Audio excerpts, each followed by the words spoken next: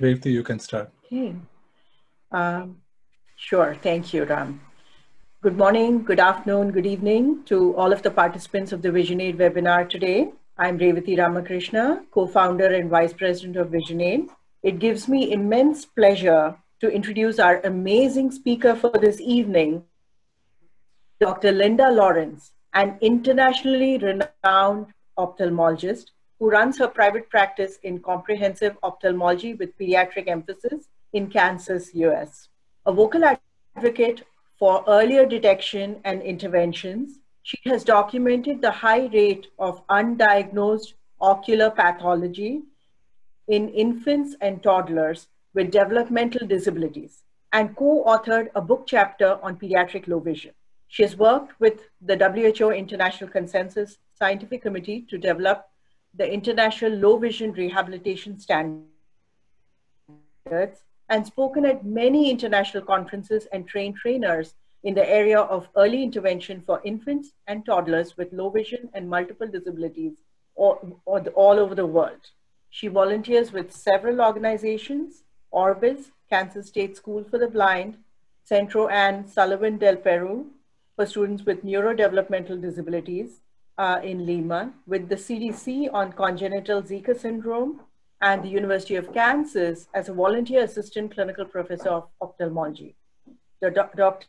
Lawrence has numerous awards to her name, International Humanitarian Services Award, Senior Achievement Award and Secretariat Award from the American Academy of Ophthalmology, and an Achievement Award from American Association for Pediatric Ophthalmology and Strabismus. Ram and I had the pleasure of meeting Linda at Madurai when she joined us for the inauguration of the VisionAid National Resource Center um, at Aravind Eye Hospital. Since then, she has kept in touch with us, providing valuable inputs and guidance. Thank you so much, Linda, for joining us today. Over to you.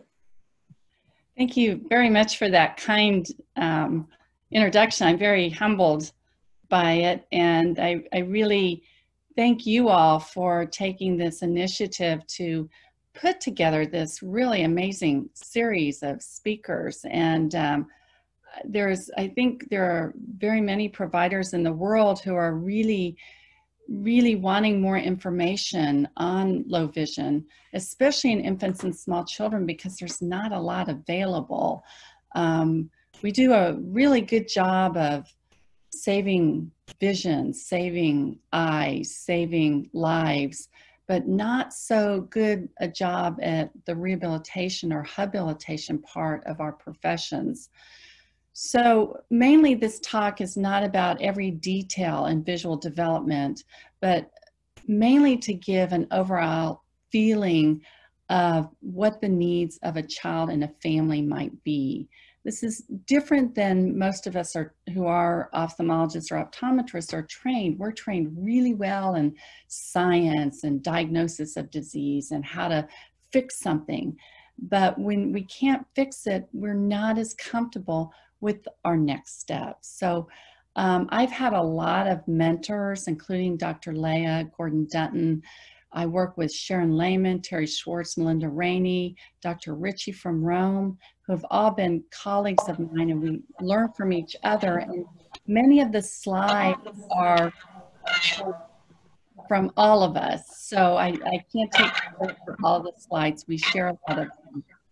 Um, also, thanks to the hospital in Madurai uh, for their work in early intervention as we explored how this might fit into the overall um, low vision project and ultimately the um, that VisionAid assisted with.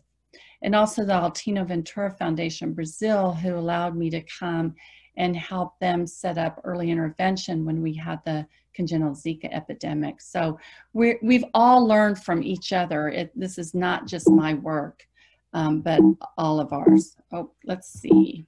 Now, how do I advance slide? Okay. So what, one of the most important things is to realize that a child with a visual impairment develops functions and concepts based on a blurred or fragmented image. This is different than an adult. Most adults who develop visual impairment already have a visual memory. So if you just remember the key thing in children is they are using vision to develop concepts. Also, motor, social emotional, and cognitive skills. Again, an adult who's lost vision may have already developed those with the use of vision. So it's it's just different. Children are not just little adults. They are developing little people. So why is vision even important? Um, vision promotes early motivation to move. That's one thing that's so important in early childhood development. At two months, the child should be following a moving object. By three months, the arms and eyes begin to act together and the child actually can start hitting an object. Now it's object recognition that's going to move that child from his egocentric area in himself out to explore the world. Object recognition then brings the infant out into world experience.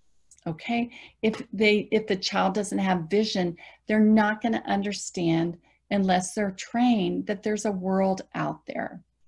At four to six months, this is a critical age for visual and motor development. The child's starting to reach, grasp, manipulate objects, and notice near and far relationships. By 18 months, the child's starting to crawl, again, moving the world out. In 9 to 12 months, the child would typically begin pulling and standing and develop that little pincher grasp that helps them pick up small objects. So remember, vision drives development and also development drives use of vision. So vision provides experience for concept development and cognition. Again, if the child doesn't get that information visually, we need to be able to provide access to those experiences either by auditory or tactile um, technology, other things. Because without vision or with low vision, empty language may develop. The child becomes egocentric and the language is um, small and fragmented because their experience is small and fragmented. And the child may have difficulty with social aspects of language. How do you describe a smile or understand a smile if you've never seen one? Vision's important for social emotional development. And one point I want to make here is that remember that parents are the main teacher of the child. Okay, parents have a baby 24 7. And I think one of the things this pandemic has taught a lot of us is that the children can't just go to therapy, they can't always go to school, but the parent has them at home. And if they know how to use everyday experiences and routines to help further the child's development, not only in vision, but in all other ways, then that child's going to have a much greater advantage than waiting in a time like now, a pandemic time, with no access to, to therapists. So very important to train parents and keep the parents as part of your team. We need to remember that the impact of visual impairment starts at birth. The mutual eye gaze between the infant and the carers facilitates attachment. If this attachment doesn't occur early on, then those communications between the parent and the infant is challenged, and this may last a, a lifetime and actually set up for a pattern of um, depression and um, social emotional um, challenges. The other thing to remember is that visual impairment in each child is different and how that child's going to develop will be unique. A child is not a diagnosis. A diagnosis helps us to look for other things, to, to get an understanding of the child, but it does not define the child or the family. This is a really nice poster that was put together um, um, at Aravind Eye Care System in, in Madurai along with um, USAID. Um, and it's, it's something that, again, a lot of us have not been trained in visual developmental milestones or in early development of the child. So having a poster like this that shows us professionals and parents about early childhood visual development. For example, looking at the mother's face by age six weeks, um, interacting with the mom at three months, reaching up at six months, looking in a mirror, all of these things that the parents can be trained to look at so they understand if their child is not doing this, that they should let their pediatrician, their their nurse, some healthcare worker know so they can get the proper referrals. Now, we um, validated a, a, battery of visual de developmental milestones during the um, congenital Zika virus um, epidemic. And um, we were trying to figure out how to measure um, the, the severe visual impairment in these infants that we knew had cerebral or cortical visual impairment, but also ocular lesions and oculomotor lesions and really severe seizure disorders and a lot of things. So we wanted to put together some kind of a, a simple, um, for us ophthalmologists, right, a simple visual developmental milestone um, testing battery. So this is published in JAAPOS in 2018, and I invite you to look at it because it, it is in the peer-reviewed journal and is validated. And also, it was measured against um, um, a group of 90 children who were born at the same time, age matched, and our um, uh, battery of tests showed in the, the control group that close to 100% of children were doing these um, or, or, had achieved these visual milestones at the age that we had suspected. And then again, matching to the children with the congenital Zika syndrome, that there was definite delay in these visual milestones. So it's a, it's a really nice, very simple um, group of uh, eight weeks making eye contact, three months having a social smile in regard to the hands, at five to six months doing goal directed reach. So a toy in front of the child moves that child out to reach, and the child brings their hands to the midline to an object or to their carer's face. At seven to 10 months, then the child begins to regard facial features and would give a smile back give a frown back, under, start to understand the meaning of their parents' facial expressions. And 11 to 12 months would be when a child would reach for a dangling object. So this is an easy way to screen babies um, to, to see if they need further um, evaluation. We need to remember that visual function describes how the eye works. This is, again, as eye care professionals, we're used to describing the function of the eye, the vision, the contrast sensitivity, visual field, color vision. But we're not so used to looking at functional vision, which describes how that baby would use the vision in vision related activities. This is the four leaf clover of vision you all have seen before. And what does a baby need vision for? Mobility, um, sustained near vision tasks, communication, just eating, learning how to smile. All of this is so important. And if the child doesn't have adequate vision for this, then we need to help with intervention strategies.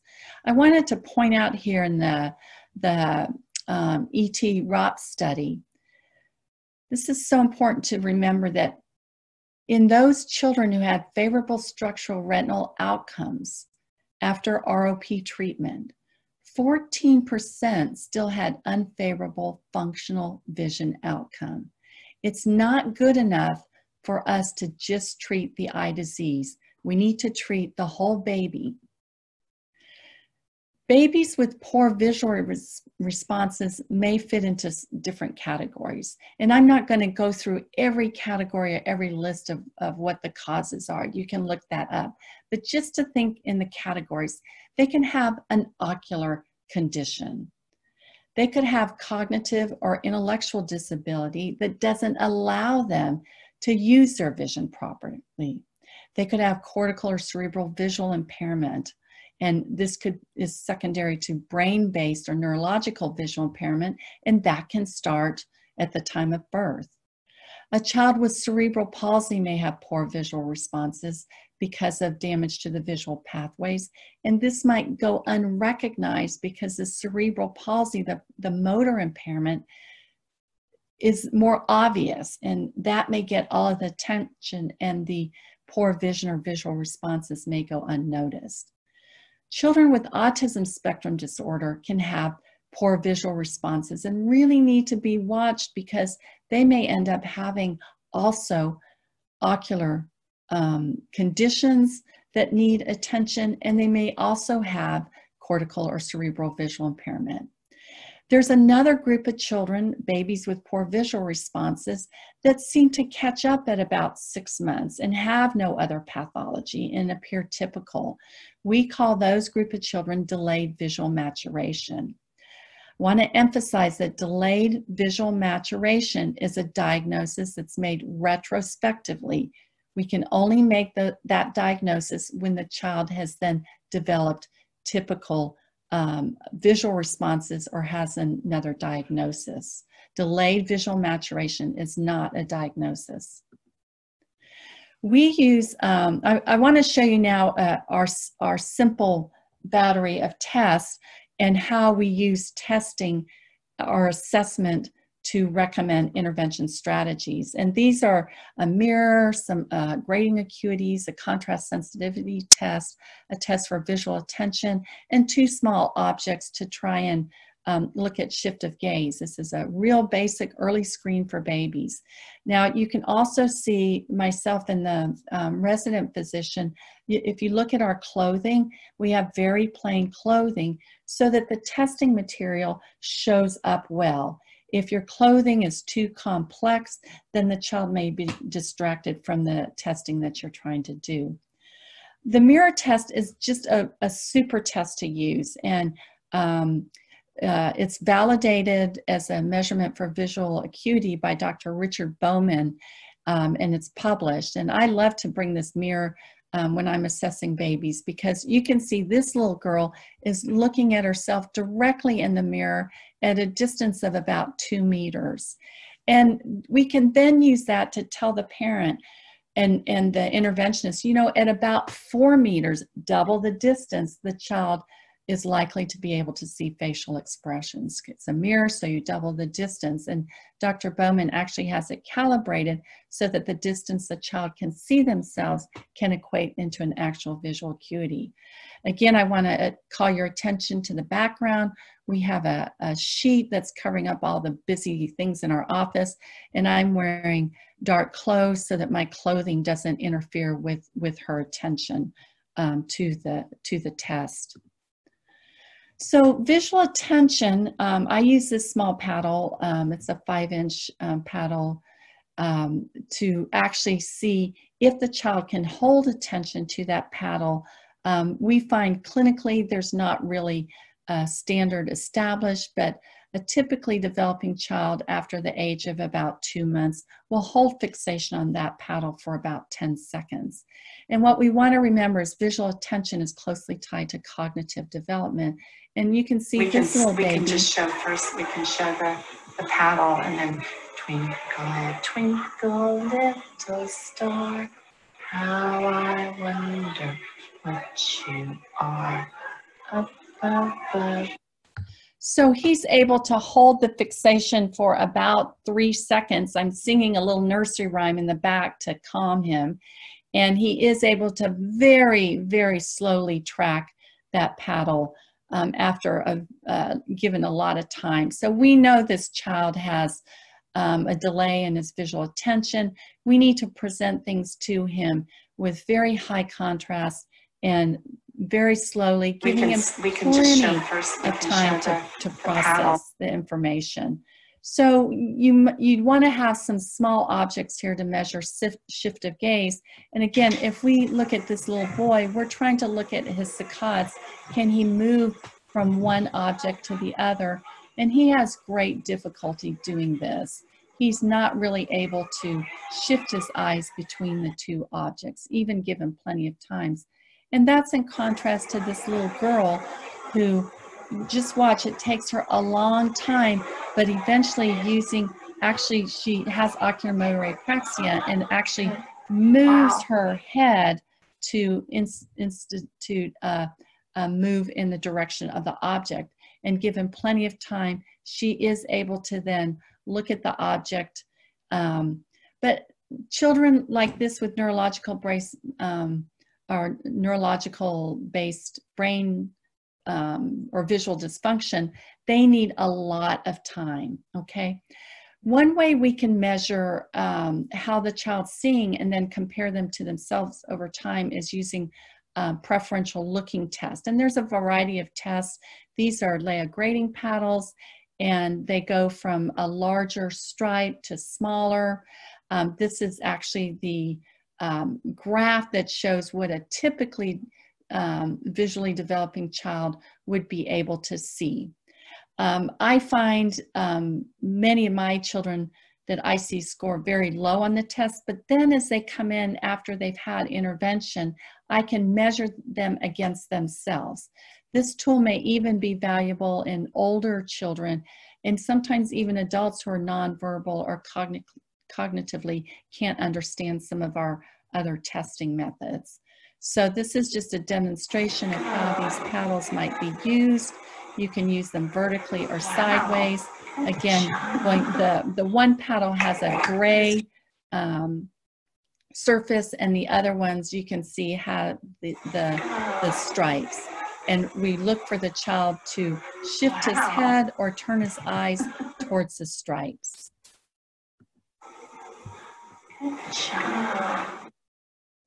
Another valuable test are teller acuity cards. Um, these are, are more costly, a little more cumbersome um, to use in, in babies, but they're also a, a very, very good method of looking at how small, what's the acuity, how small can that um, child see. The contrast test is another really important test to use, and this is one that Dr. Lea designed for babies, and it has um, on the far right is the control face, and you hold the blank page, and then the face, you hide the face behind the blank, blank page, bring the face out, and again, watch for the child's head to shift or eyes to shift towards that face. And this is a demonstration with our little baby again, and he wasn't really even able to um, perceive where the face was or follow the face. So we would know in this child that he definitely needs increase in contrast and slower um, time to process the image. So this is another baby and the way I use this is I look and see if they can get come down to the 5% contrast, which he will. And then I move away from the child to see how far he can see that 5% contrast face. The reason being that the 5% has been identified as approximate contrast of the human face. So if they're able to see the 5% at 30 centimeters, 60 centimeters, three meters, that again gives us a clue that they may be able to see their parent or care's facial expression at that distance. So you can see he's looking towards the face and then I'm going to just move back. And he, he looks at, at the face again. So it's a good clue that he's able to see facial expressions at that distance. Again, none of these tests are 100%. They give you a clue to what the child might be seeing. And this is just a slide to, to illustrate the importance of contrast. The middle picture would be um, a child in the, in the newborn period with about 2400 vision and you can see how the outline of my dark hair against the lighter face and then the darker clothes shows where my face is. So, you know, a baby, you know, is going to see a blurred image when they first start looking. But if you have your parent um, or care get do more contrast in their hair on their face, sometimes with a man it can be a beard or a mustache um, a bright scarf underneath the neck, a scarf around the head, something that gives contrast to the color of, of the face. We can assess visual field defects in children. Um, this, this baby up at the top again has um, cerebral visual impairment um, from congenital Zika syndrome. She has microcephaly and was thought to be totally blind. And what we found is we placed an object in her superior field. In this case, it's my iPad, and she could follow it everywhere. You know, and this this little boy um, from India down here on the bottom, it was the same thing. You know, he had, we were putting everything down in front of him where he had no visual field. So he was functionally blind in that field. But once the object was placed in the seeing field, he was they were both able to perceive it so we can use that information for example in this little baby showing feeding instead of bringing a spoon or the bottle up from below where the child has not a clue what's happening all of a sudden something's popping in their mouth and they don't know what it is you could bring it from their seeing field describing it food bite with a simple word like that and let the child see and be part of the experience um, using their vision. The Lea puzzle we use in older children and um, at about 14 months we have children that can start doing this. And it's a really valuable test for me. I use it um, on all children, whether they have a visual impairment, whether they have a cognitive impairment, um, I, I, use it to watch if they have if they're developing the concepts from abstract uh, sorry from concrete to abstract. So the the one side has the color um, clues to it the reverse side takes away the color clues now remember that color is one of the most primitive responses um, in in our visual system in the brain so colors can be a very very important um, clue to um, matching to what an object is, to the experience of an object. You take away the color and things get a little bit harder. And then finally we go to this two-dimensional card, which has taken away the concreteness of the test. It's no longer an object, it's a picture of the object. So doing that with children then leads us to see if they could understand doing an actual chart with, with the optotypes. And children, even children with severe um, cerebral palsy can be trained to do this test. I want to show you this little boy with congenital Zika and watch that success. That was just a really moving moment for all of us to see that little boy who understood the test. He couldn't speak, he could hardly move, but he figured out how to do that puzzle. So how early is early to, to start measuring visual acuity and visual function in children? Well, Dr. Daniela Ricci has written quite a few articles and developed this methods with, method with her colleagues in Rome on assessment of the child in the NICU. And what they've documented is that fixing and tracking are already present in preterm babies at 30 to 32 weeks of gestational age. So early is at birth. that you can start at birth. Their um, neonatal assessment of visual function, um, sponsored through the Mariani Foundation Project, um, is an ideal test. It has a structured protocol. It assesses several aspects of visual function. It's short. It's easy for non-eye um, care specialists to learn. It has minimal and very inexpensive equipment. They can use it in, in the NICU inside an incubator because it's easy to clean and it's, it's reliable.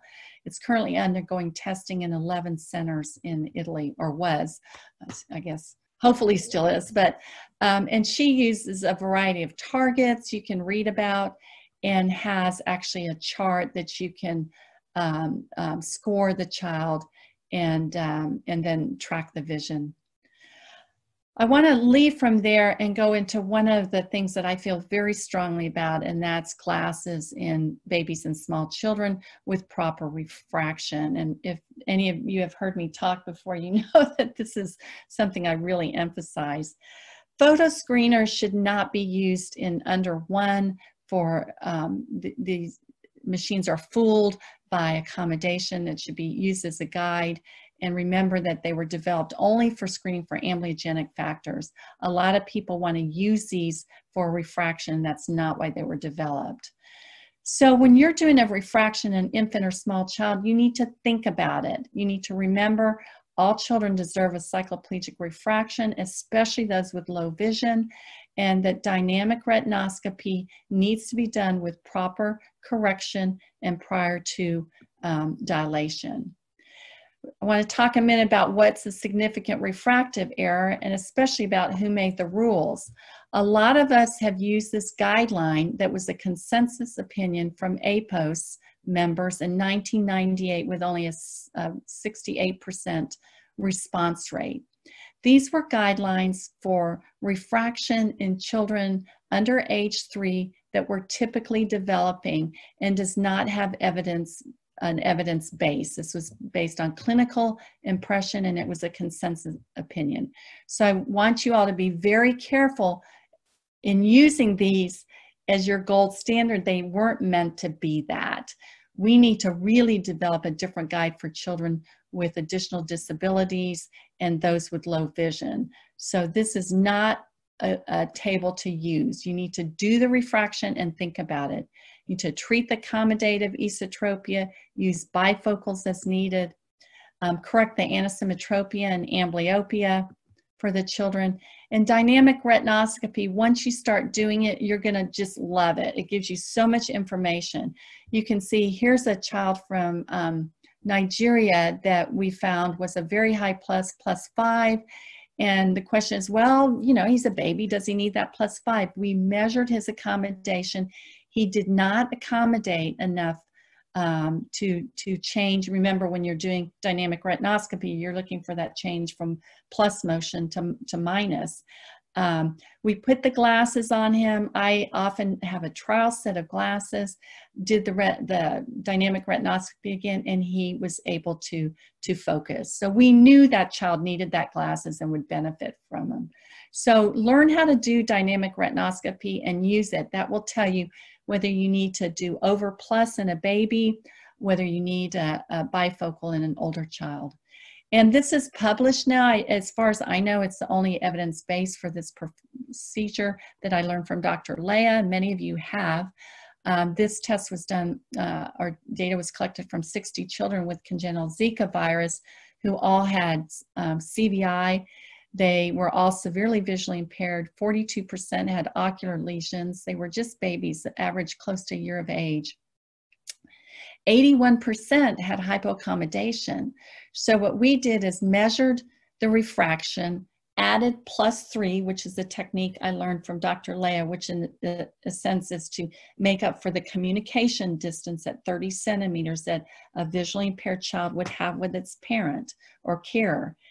And, um, and we gave the glasses to the children when we received the glasses, which was in a, very short time, within a, a few weeks to a month. We, the children came back, we measured again all the visual functions that we've done before.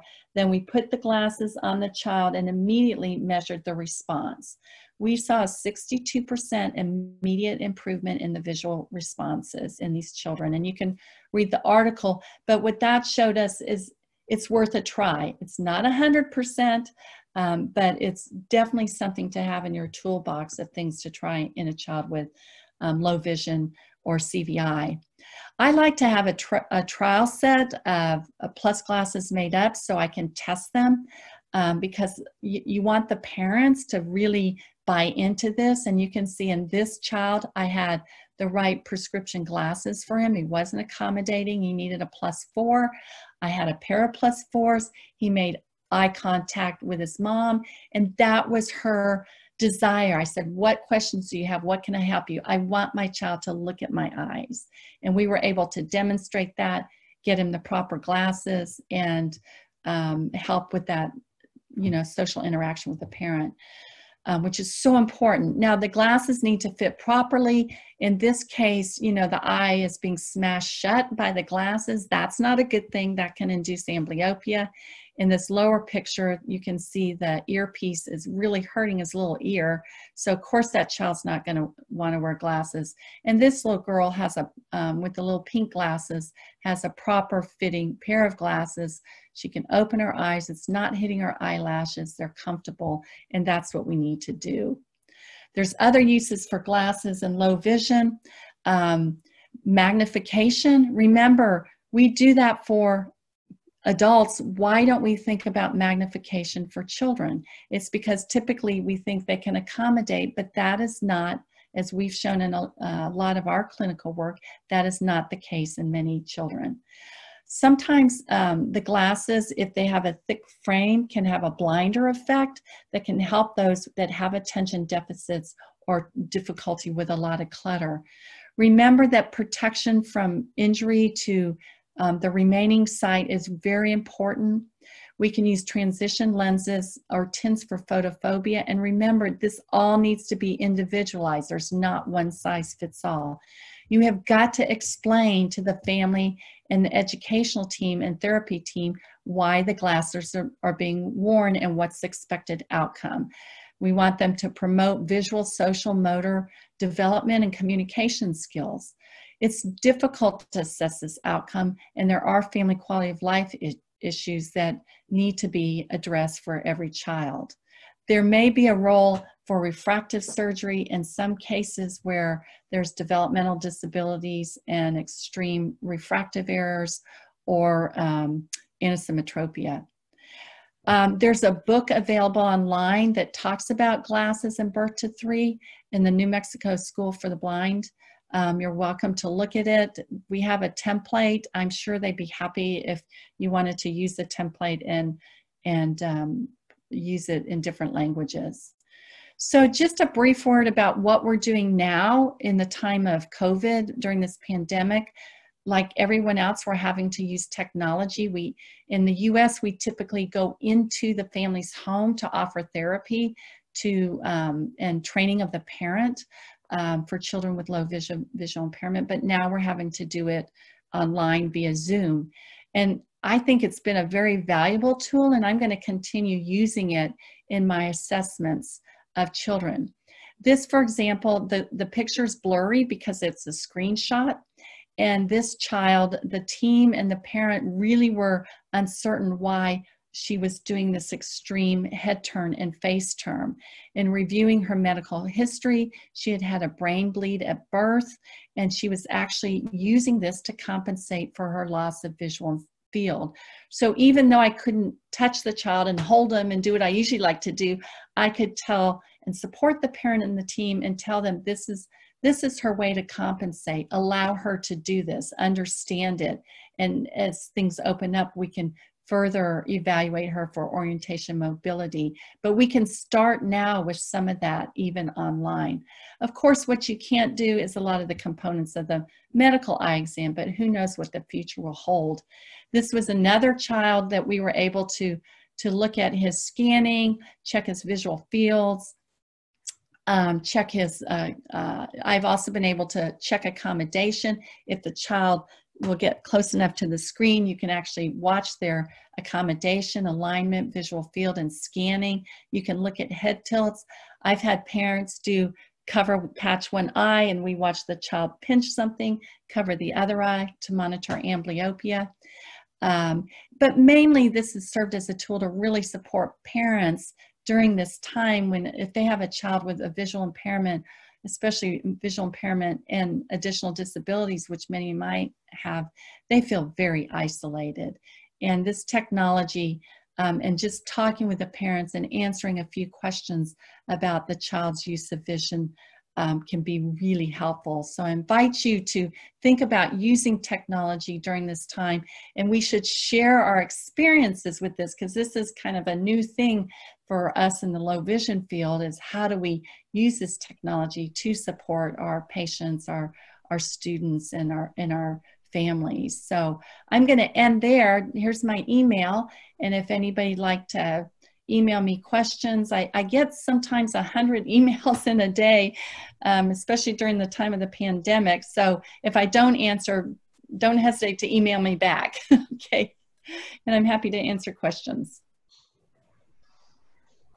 Uh, this is Lubina, Dr. Lawrence, um, pediatric occupational therapist. And I can't even begin to tell you how refreshing your talk was. It felt like it was coming from an occupational therapist perspective. Uh, I loved, I mean, and all the diagnoses that you spoke. I work in the public schools, so I don't per se work with visually impaired, but believe me, I have children who manifest so many symptoms, you know, because all those diagnoses that you spoke in, you know, the first couple of slides we have in the public schools. And uh, it's heartwarming to see an ophthalmologist, you know, approach low vision from a very therapist perspective, you know, looking at all the milestones and the perception and the color and, uh, you know, things that are so critical for early education. So I don't really have questions, but I just wanted to tell you it was absolutely amazing. Thank you. Oh, thank, thank you very much. I, I have to say that I've been working with teachers and OTs for over 30 years and they've trained me. so they're definitely part of my team and and I continue to learn a lot. We we we hold actual clinics together on a monthly basis for babies for nearly 30 years. So I've learned a lot from from from my colleagues in the OTs and PTs and the speech language pathologists. It's just been a great relationship. Yes, the team approach is so critical and this was amazing. Thank you. Usually, you know, the MDs are not part of, you know, this part of the this aspect of the team and it's it was very refreshing to hear your talk thank you and and hopefully this will inspire some of my um, ophthalmology colleagues and optometry colleagues to to become more involved with this because we can all learn from each other and that so helps the the family and the and the babies rather than us each being in our our sphere. Absolutely absolutely. Thank you again. Thank you. If anyone has any questions, you can unmute yourself and ask. I didn't see any questions in the chat, so, so feel free to ask the question.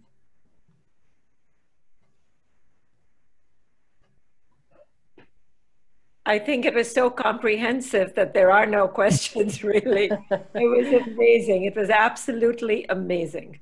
Yes, yeah, excellent talk, uh, Dr. Laura. Fabulous talk, yep.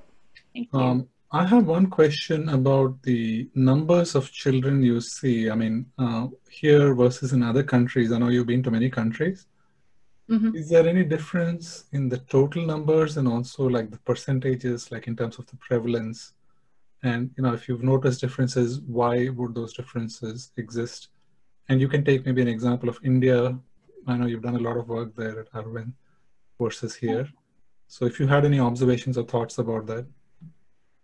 Well, the uh, you know we have some things that um, now we can diagnose prenatally. We can intervene earlier. Things like glaucoma, retinopathy of prematurity. You know some of these type of diseases, cataracts, and in babies. And you know as as as we're getting better and better with treating those conditions, again that's country to country. It varies a little bit those are becoming less an issue. And what we're seeing more of are brain based visual impairment that are needing our attention. The other reason for an increase in brain based visual impairment, which would be uh, from a variety of causes, from prematurity, neonatal um, an- anoxia, um, genetic syndromes, um, trauma, you know, the, the infection. There's a whole host of reasons we now have much better prenatal and perinatal care of the infant. So we have a much higher survival rate now of very small babies, babies with, um, say, heart disease, who have Down syndrome, babies who um, are born at, I mean, we have 22 and a half week infants. We have a lot of babies born now that uh, are actually thriving because of our better neonatal care. And that's changing the face of visual impairment, um, of the reasons for visual impairment. So, for example, um, in the United States, we find about 25% of our newly diagnosed visual impairment from birth to age three now is from brain based or CVI, um, cerebral cortical visual impairment. Um, Aravind Madurai put together their statistics not long ago and they had the exact same numbers 25%. So, as India is getting better and better neonatal care, they're starting to see new things like more retinopathy of prematurity. And that's why you see just India's developed some fabulous programs for, you know, finding those babies and, and doing early treatment. We're seeing in Nigeria now the same pattern. Um, they're getting much better neonatal care in their infants. And they, in the last two years, have set up a, a really amazing retinopathy of prematurity program. And they're seeing babies with ROP. And it used to be, oh, you know, everybody said, oh, that's not going to happen in Africa. They don't have that. They have, there's something about their genetics that makes it different. No, those babies don't survive. And that was all wrong. you just had to look for it.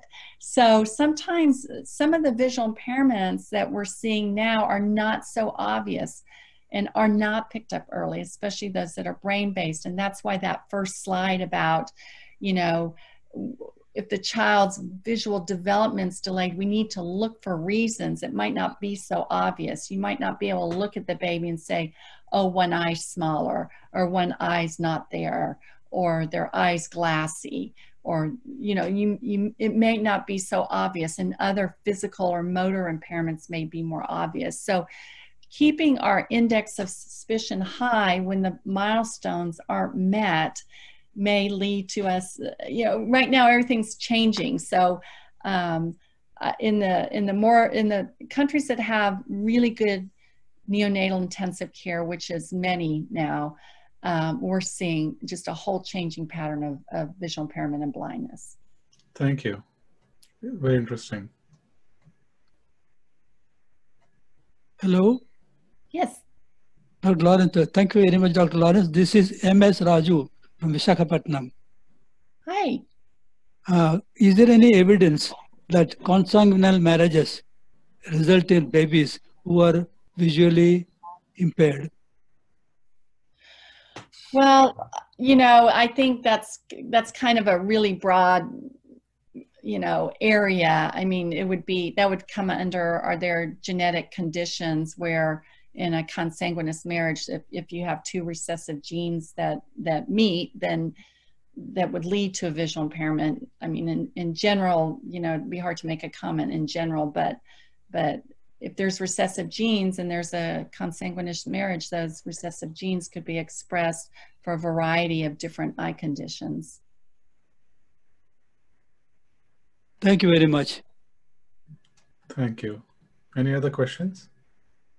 Um, good morning, uh, Dr. Lawrence Deepak here. Um, uh, uh, wonderful talk.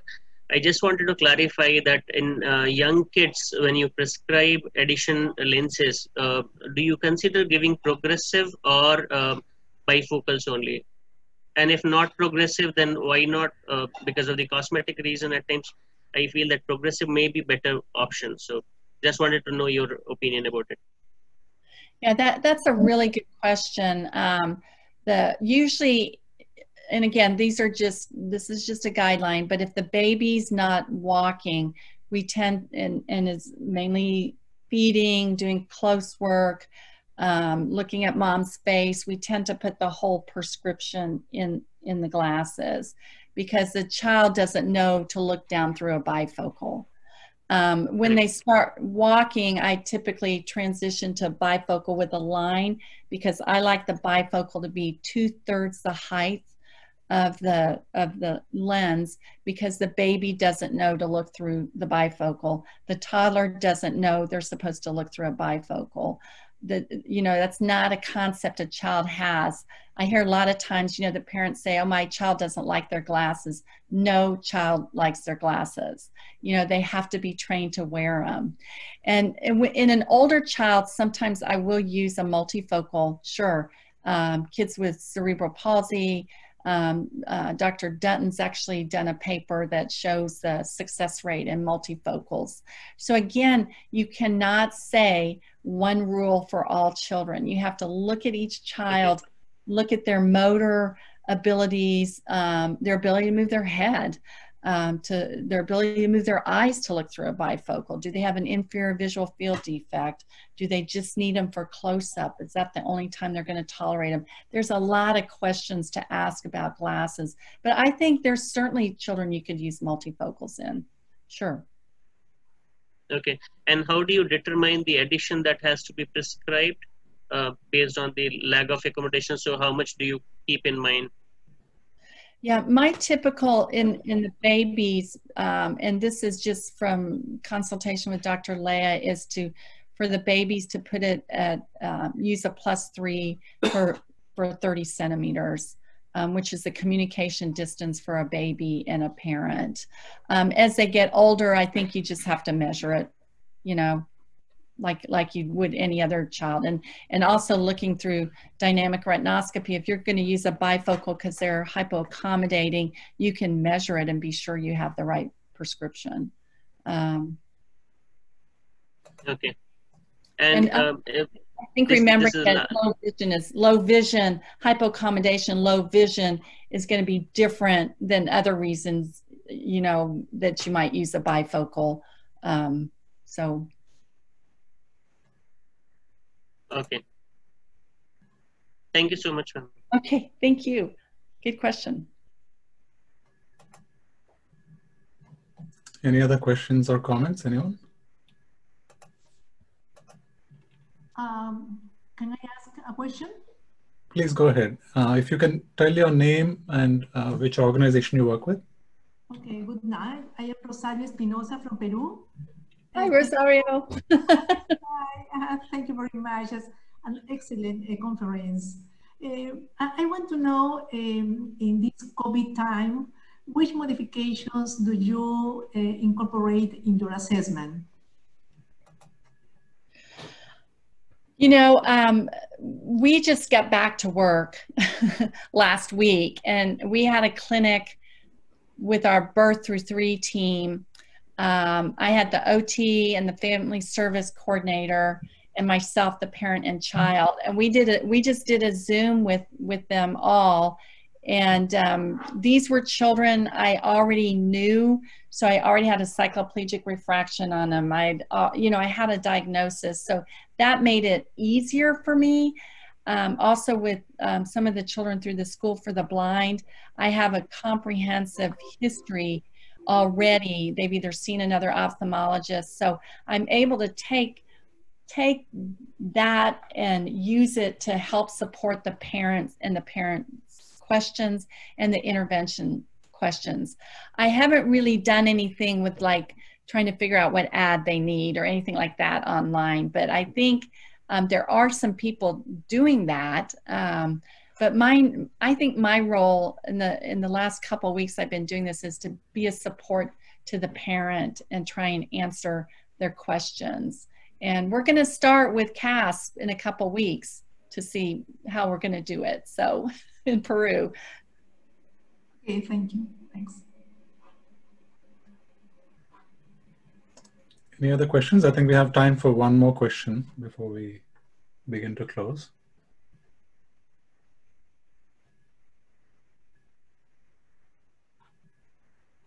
Okay, so I, um, I don't think we have any more questions. Uh, Dr. Lawrence, this was an absolutely fantastic talk. I think Lubaina expressed it well on behalf of all of us. As we see a lot of comments in the chat as well um, from people who appreciated the talk very much.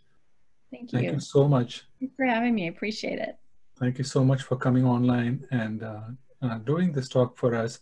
Before we close, I just wanted to announce the next two talks have already been posted. I think uh, those who came to the website already, to this event already know this website, training.visionaid.org slash webinar. And if you go here, you'll see all the previous sessions have recordings on them. And uh, we'll post the recording to this session within 24 to 48 hours. So you can find the recordings uh, there along with the slides. Um, the next talk uh, is about VisionAid and the VisionAid model. And I will be covering that uh, later this week. Uh, so that's Thursday, this Thursday at 10 p.m. and at 7.30 a.m. in India on Friday. And then uh, following that, we have Dr. G.N. Rao and Dr. Beula Christy from the LV Prasad Eye Institute, who will be talking about LV Prasad's best practices and the models they have developed in running a low vision tertiary center. So if you go to this uh, website, you can also click on these different links up here and you can click, if you want to learn more about VisionAid, you can click on uh, this link. It brings you into our site. And you know, if you're interested, you can go through the site to learn more about Vision Aid, the work we are doing. And, you know, um, if you're interested, get involved as a volunteer or support the work we do. So with that, I think um, just want to thank everyone for taking time to join us. And we hope to see you on the next webinar. Thank you.